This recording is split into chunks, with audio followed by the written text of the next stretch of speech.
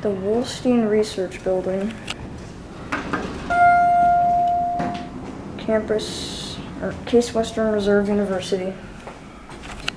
Okay. Here we go.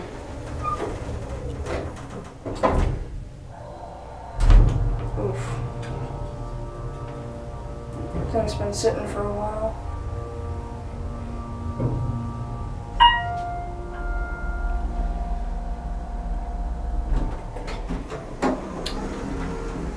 So Series 4. Fixtures. Certificate, 125 feet a minute. There's the phone. Or, no phone actually. Oh, right, it's right there. This elevator number one, 2,000 pound capacity. I'll cancel.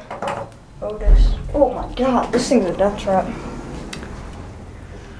I like the cab. It's kind of basic, but it's a nice elevator.